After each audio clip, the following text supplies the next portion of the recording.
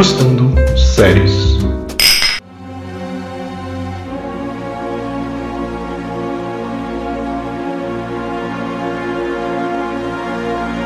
Olá, você aí que está nos ouvindo. Aqui é a Alicia e junto com Josimar eu vou contar para vocês os acontecimentos do episódio 10 de Endor. Lembrando, né, que já estamos na reta final. Serão só 12 episódios nessa primeira temporada de Endor, que está na Disney Plus. É, já vou pedir aí para você que está nos escutando, né?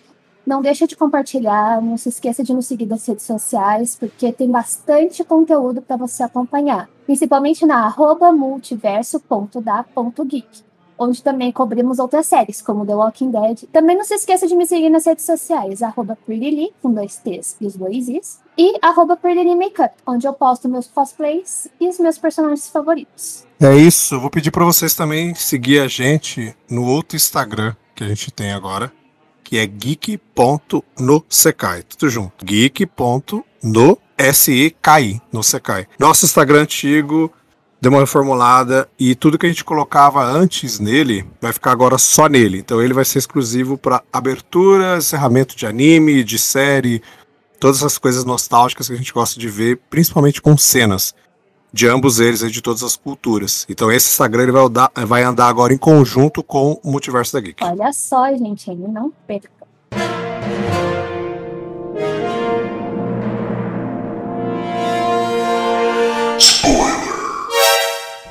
Já correndo assim, né, para falar do episódio de hoje, que a gente está abordando sobre Endor. Gente, que episódio, hein? Linda, linda, linda.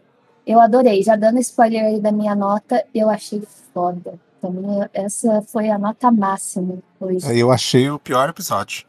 Jura? Mentira, óbvio que não, né? Ah! Eu, eu já tinha falado pra Alissa mais ou menos assim, off. Mas é, a gente já tá jogando na cara de vocês, assim, antes de a gente começar a falar, mas pra mim é a nota máxima, assim. E melhor episódio da temporada ever, assim. E um dos melhores episódios de série de Star Wars que eu já vi. Colocando até Mandalorian Eu, junto. agora que você falou, eu fiquei, meu Deus, ele mudou de ideia. Não, O que aconteceu? é tipo, ele tava me enganando, quer dizer, então que. Perdi não- aqui. Gente, isso não tava aqui. Nossa senhora, eu achei muito Não, é legal. Sensacional.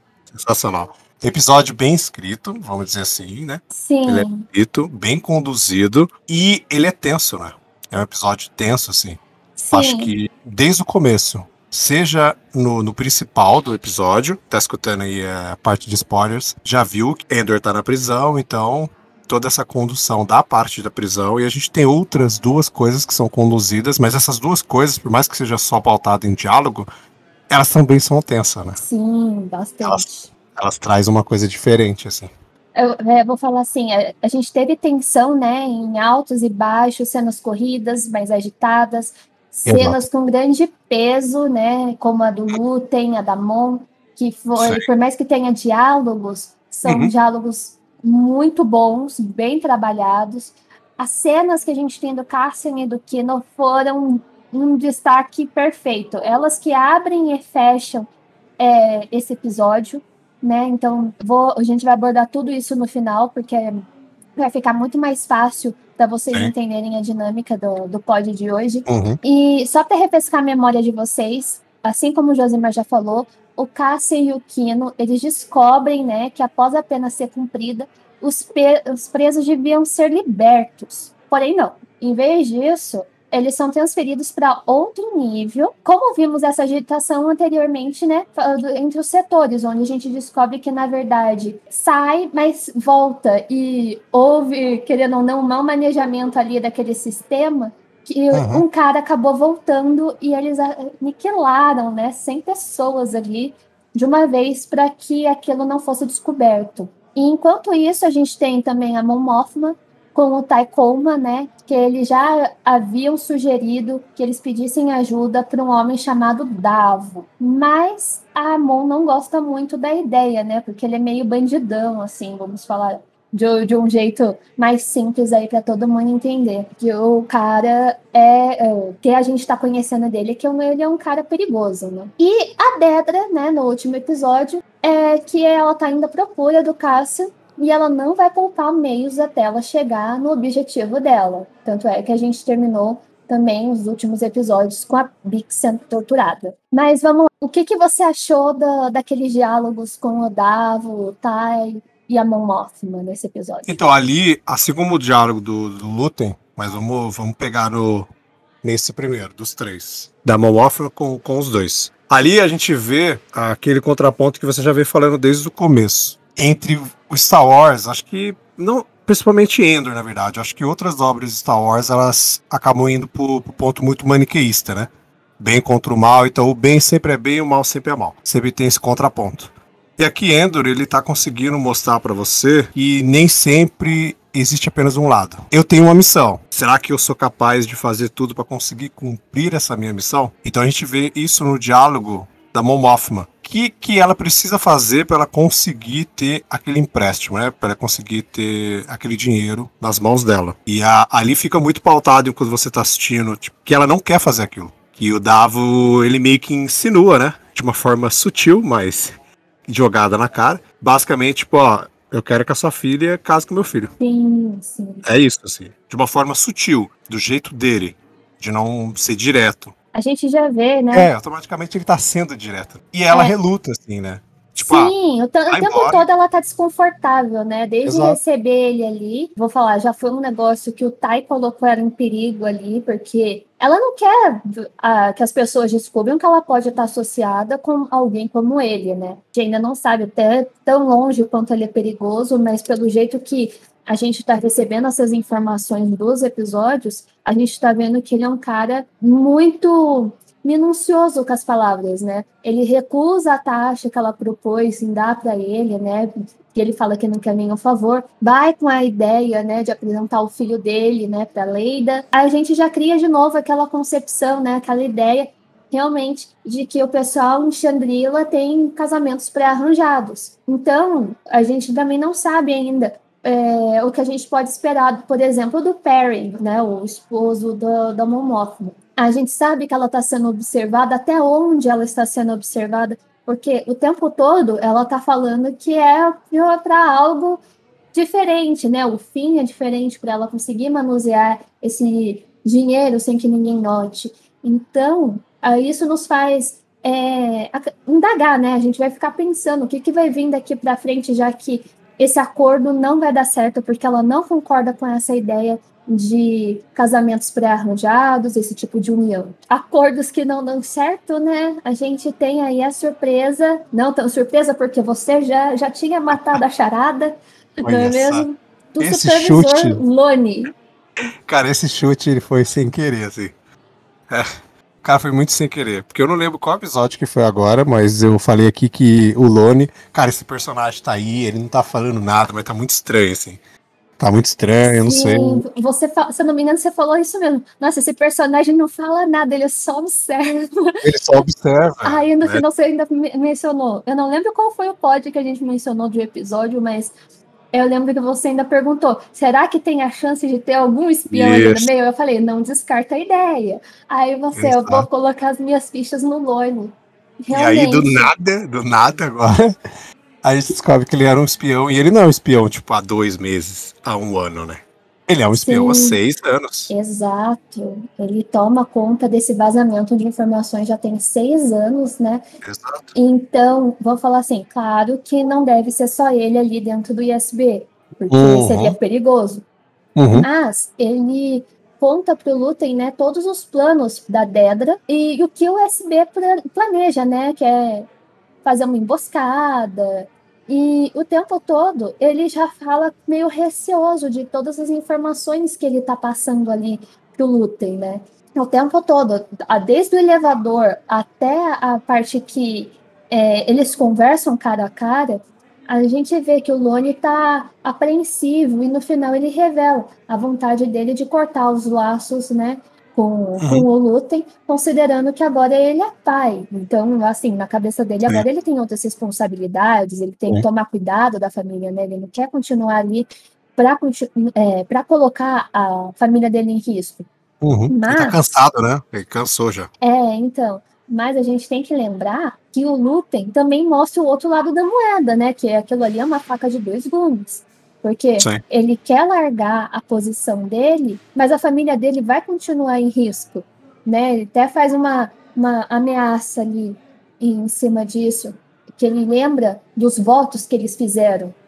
Assim como também o Lutem menciona para Mon sobre os votos que eles fizeram. É uma faca de dois gumes. A gente vê de novo aquela perspectiva, né, de que eu já comentei sobre o la do lado mais racional até o lado mais extremista de quem está ali lutando contra o império.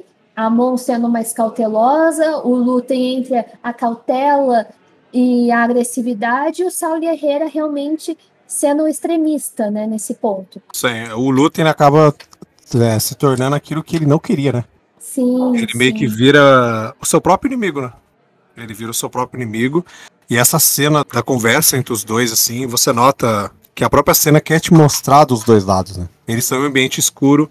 O Lutem, inicialmente, ele tá no. Ele tá num lugar mais escuro. Então ele vai chegando mais perto, aquela capa. Me lembrou Darth ah, Vader. né? Sim. A, muito a, uma cara de a Darth Vader. montagem, né, da cena É, ficou bem nisso. isso. Mas, a O gente, Darth- o Darth Vader era meio assim, né? mas eu- se você colocar dentro da- dessa é, lógica que você pôs, todas as cenas que a gente foi tendo do Lutem até agora, elas foram escurecendo, né? No Exato. primeiro episódio a gente tem ele lá dentro daquele trem, com a luz diretamente no rosto dele. Aí depois ele tem uma cena um pouco mais escura, né? Que ele tá tentando ir atrás do Cassian, recruta o Cassian. Depois a gente Uhum. tem outra cena dele se fantasiando lá, daquela persona que ele criou. Sim, sim. Então a gente já tem uma outra perspectiva. Ele tá num, num ambiente claro, né?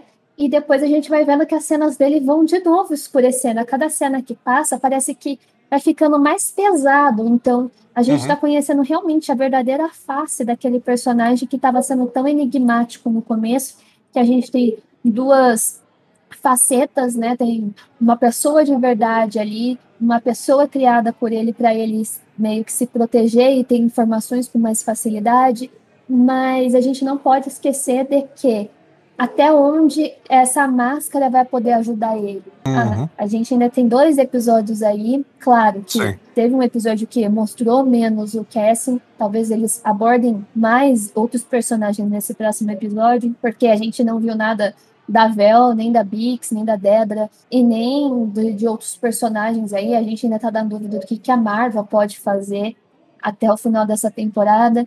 Então, já, a gente já tem aí eles recolhendo bastante coisa para poder ter um desenvolvimento final nesses dois últimos episódios que estão por vir. Bem interessante aí a forma que eles podem abordar e como eles podem fazer um gancho para a próxima temporada. Sim, é aquela pergunta que eu fiz, eu acho que foi um dos primeiros pods, não sei se foi no segundo ou no terceiro que a gente fez. Quem desses dois era o Lutem de verdade? Isso. Eu acho que agora fica meio claro, tipo, que essa figura é ele.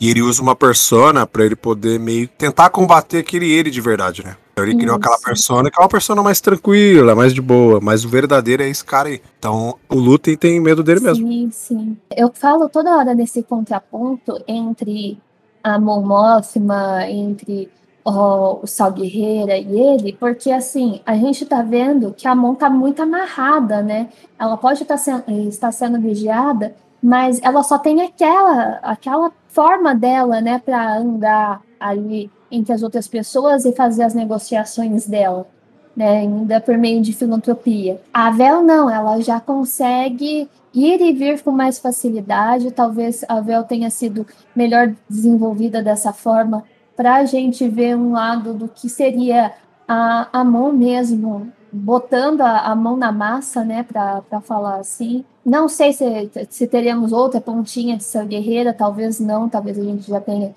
é, só na próxima temporada ali, porque Sim, provavelmente. é, então, justamente pelo esse fato do Lutem estar conversando com ele, né, falando das Uhum. movimentações, então, a- às vezes até, eu vou, colo- eu vou colocar até assim, a gente não sabe qual é a da Cleia direito, a gente sabe que ela apoia aquilo, mas até onde ela apoia aquilo é, a nível de Lutem ou a nível de Sal Guerreira, né? Uhum. É uma personagem extremamente interessante ainda para ser desenvolvida. Eu quero ver bastante ainda dessa personagem sendo desenvolvida, porque ela ainda é muito misteriosa nesse quesito a gente não vê tanto dela, a gente sabe que ela tá ali trabalhando pro Lutem, mexendo os pauzinhos ali por trás, mas é, é uma personagem que talvez seja mais perigosa do que a gente acha pelo jeito que ela falou, Cabel, né, anteriormente. Exato. Então, é questão de desenvolvimento aí, a gente não, não teve tanto aprofundamento nesses outros personagens, mas está tá sendo bem interessante até então a forma que eles estão trabalhando a série. É, e desenvolvimento, só um adentinho. Star Wars ele sempre desenvolveu um pouco esse debate humano muito com a força, né? Lado negro da força, né? Ele debatia muito isso, essa dualidade com esses pontos. Mas acho que em questão tipo de humanidade, de desenvolvimento nesse sentido, acho que Endor é que está conseguindo fazer melhor até agora. Assim. Sim, sim. Tá conseguindo desenvolver esses pontos humanos mesmo, tipo pegar todo essa, esse universo de Star Wars e conseguir desenvolver pra gente esse lado humano, as vertentes do ser humano. Eu acho que essa série aqui tá conseguindo fazer, ó, como nenhuma outra obra de Star Wars fez. Não, concordo plenamente com o que você tá falando, até porque, assim, a gente não tem é, alívios cômicos, assim, de, de cena para cena, né? A, uhum. a, gente tem Star Wars o tempo todo é, falando sobre a, a, questão de bem e mal, né? Esse negócio uhum. de luz e sombra. Sim. Mas é, o tempo todo, vou falar assim, George Lucas não, não queria pesar a mão nisso. Então ele abordava ainda de uma maneira leve. Enquanto Endor tá indo realmente pesando a mão para a gente sentir de verdade o que é esse regime imperialista, colocando assim na, na perspectiva de como o império está ali agindo, colocando trooper, colocando outros tipos de guarda, fazendo a ISB investigar certas coisas, o que tá, por que está dando errado, mesmo que eles sejam petulantes em certos momentos, a gente uma troca de cenas assim que, por exemplo, nesse episódio, seria triste se não fosse cômico. Ou, por exemplo, agora falando assim do Cassian e do Kino, né, quando eles realmente conseguem é, ir libertando as pessoas dali e os guardas acabam se trancando numa sala morrendo de medo, né? Caraca, pior. Então, como a gente deixou o melhor pro final, né? né esse jogo de cenas que abraça o começo do episódio e o final do episódio, a gente vê a aceitação do Kino, né? Que foi devagar, vou falar assim, foi uma noite em claro, basicamente, que ele passou ali. Sim. Eles retornam às celas. O, que, o Cassian tenta contar o que está acontecendo para os outros presos, enquanto o Kino ainda tá amargurado, ele tá tentando engolir aquilo, porque ele tá lutando. A gente vê, né, na cara do ator, né, do Andy, fazendo assim, tá lutando contra aqueles pensamentos de que é difícil engolir o fato dele ser, por exemplo, o líder ali daquele setor, e faltando tão pouco tempo para ele deixar o sistema, ele descobre que tudo é uma farsa. Então, ele acaba passando a noite em claro e no dia seguinte ele fala: Não, a gente não vai sair daqui. Então, se a gente não fizer alguma coisa, a gente vai ficar aqui para sempre. Até quando vocês, outras pessoas, querem continuar aqui? Eventualmente, a gente vai vendo o desenvolvimento deles, né? O, o Cassian, na vez dele, vai lá de novo no fundo da, da cela, né? Provavelmente ali é um, um espaço de descanso para eles, para fazer o revezamento de turno. Ele tira aquele painel deixa aquela água vazando lá dentro, né? Lembrando que eles estão numa prisão, né, em torno do, de um bar ali. O Cassian consegue, né? Ele fura aquele é, cano e começa a vazar água. Enquanto isso, tá chegando um novo preso para substituir o Olaf. E isso, os guardinhas estão todos se posicionando, né, na, na parte de cima enquanto eles estão preparando para colocar todo mundo dentro do que seria o sistema, de uma mão atrás da cabeça, enquanto todos os embaixo já estão se organizando e gera uma briga falsa para distrair. Enquanto isso, o Cassian sobe na plataforma para tentar roubar a arma de alguns soldados que estão ali. Exato. E aí começa o AUE. verdadeiro AUE. E tudo conduzido da, da melhor maneira possível. Sim. Não é nada muito. Porque, igual você falou do, do desenvolvimento do Kino, é, essa mudança que, que ele tem, ela acontece em três episódios. Eu acho que isso é, é um feito para a série. Porque, por exemplo, eles poderiam muito bem, tipo, a, da mudança e a, e a prisão, terminar em um episódio. Claro que episódio mesmo. Chegou na prisão, acontece, o Kino ia mudar do nada e todo mundo ia fugir. Não, eles levam três episódios para conseguir desenvolver todo o arco da prisão. Também todo o arco do. Então, novamente, aquele ponto lá da desenvolvimento humano que Endor tá conseguindo fazer. Então, isso é um feito, além do que, Andy Serkis, né? Palmas pra esse cara, pelo amor de. Deus. A gente meio que tá falando aqui, né? Mas a, a cena do discurso dele pra todo mundo, cara, aquele discurso é, é excepcional, assim. Esse ator, Sim, sim. Ah, ele merecia mais reconhecimento, esse Andy Serkis. Não, perfeito, perfeito, porque assim, é, não só o discurso, a gente vai vendo o personagem, a gente chega Uhum. ali, né, conhece o personagem assim logo de cara, a gente já pensa que vai ser uma pedra no caminho, né? Exato. Não, é, aos poucos você vai vendo que todo mundo ali, querendo ou não, é uma, fa- uma família, né? Eles aprenderam, tá todo mundo ali, cada um por si, mas estão todos ali por todos, para se ajudar de alguma forma. Uhum. Então, quando a gente vai vendo aquele discurso do Kino, isso vai conquistando os outros prisioneiros que estão ali, né? E tanto é que o, o Cassian vira para ele, cara, tem que ser você. Você soube liderar até agora um setor inteiro. Você controla 100 homens. Aqui somos 5 mil. Você tem capacidade de conquistar esse, os outros, essas outras pessoas que estão aí. E considerando que, assim, a gente tem ideia de que são cerca de nove, são 12 por setor, né, guardas por setor. Quando todo mundo consegue ir saindo dali é, e os guardas se escondem, que você falando, cara, é muita gente para se rebelar. Exato, e pouco guarda, né? Sim, É o que ele, o que o que o Kaysen fala pro, pro Kino a todo momento, assim. Tem poucos guardas. Né? Tem muito pouco, porque eles nunca imaginaram que ia acontecer uma rebelião ali sim, dentro. sim.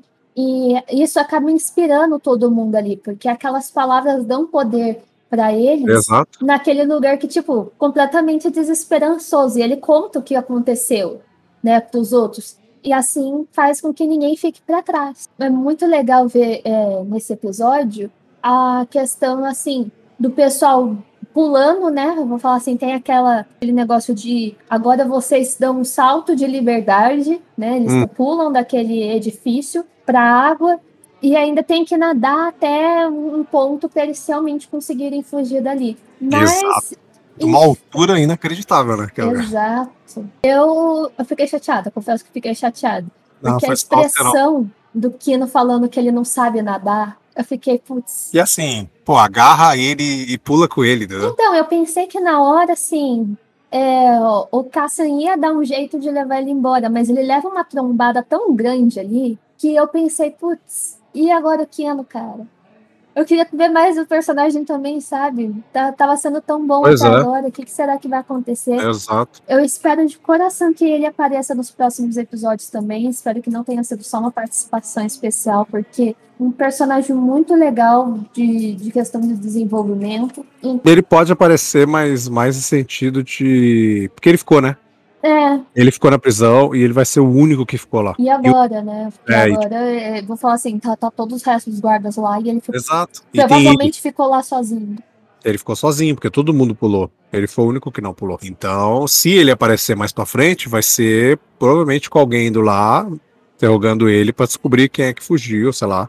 Vamos, Sim. descob- vamos supor que a Dedra descubra que, que o Casey foi levado pra lá. Verdade. De alguma maneira, entendeu? Aí ele apareceria sendo interrogado, alguma coisa. Mas eu acho que ele não aparece mais. Acho que o Kino vai ficar nesses três episódios aí. Sim, sim. E para finalizar o episódio, a gente tem uma cena final ali. Já tá de noite, né? A gente vê três luas no céu. O Cassian e o Melch cons conseguindo escapar, né? Correndo em busca de achar algum lugar, porque a gente simplesmente vê eles correndo em direção, vou falar assim, a um nada, porque a gente não tem outra, outra coisa ali no horizonte. Exato. E eles estão em outro planeta, né, mano? Exato. E assim, eles conseguem sair da água e que direção agora que eles precisam tomar. E Sim. torcer para eles não, não serem achados por outros, outras pessoas ali, eh, imperiais, soldados, de alguma forma, para não pegar eles ali de novo, né? De, de levar para outro lugar. Eu acho que esse Melch e vai, de alguma maneira, fazer parte da, da rebelião. Será, hein? Ah, Ele era o único, tirando o Kaysen e o, e o Kino, ele era o único que, que eu acho que tinha um pouco mais de relevância de, de todos os outros que tinham lá dentro. Depois vamos assistir Rogue One de novo, hein? É, será que ele não tá lá não? Vai que vai E aí, gente, agora chegou a parte dos ovinhos de Páscoa, né? Nossos easter eggs. Easter eggs. É, tem dois pontos, que não, não sei se são easter eggs, assim, mas. Hum.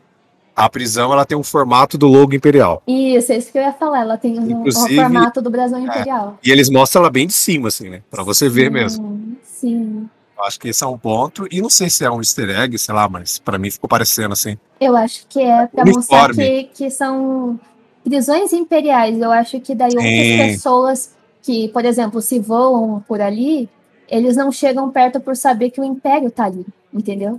Então eu Sim. acho que fica uma, uma ameaça em, de do, duas formas. As pessoas sabem que o império esteve ali e o império sabe que aquela, aquele local é do império. Exato. E um, um, que talvez seria, não sei se é, talvez foi só uma, uma, uma ideia deles, sei lá, para dar uma, uma menção, somente porque a gente está falando do, de uma rebelião que acontece na prisão. A, as cores, né? Do uniforme da prisão. Sim, sim, é a mesma, as mesmas é, cores, legal. né? As que é, é, é, o branco e o laranja, né? Nesse Isso. caso, a gente tem mais branco que o laranja. Mas uhum. eu, eu acho que é para brincar justamente com esse fato né, que eles estão se tornando rebeldes ali, entendeu? Sim. O laranja é uma cor dos rebeldes em si. Então, por exemplo, eles estão como ninguém ali. Eles não têm ainda motivação 100% para lutar e quando eles têm esse tipo de motivação, depois eles vão usar um uniforme laranja, sabe? Com branco. Uhum. E a sua nota para episódio a gente já deu. então é isso. É, a gente basicamente deu no começo. A gente fez uma inversão aqui para vocês. Foi tanta coisa, sabe? Foi tanta e um episódio curto. Sim, curtíssimo. Se a gente tirar os créditos finais, toda a parte inicial dele, ele não tem nem 40 minutos. É um episódio extremamente proveitoso, assim, foi bem agitado, então te prende do começo Exato. ao fim ali, sem é, você ficar. Eu vou falar assim, sem ficar pensando muito. Você tá entendendo ali, as cenas não precisam ter fala, só a ação que você já entendeu o que tá acontecendo. Exato, exato. É, é perfeito. Esse episódio é perfeito. E se os últimos dois tiverem 90% desse aqui, a temporada vai fechar maravilhosa.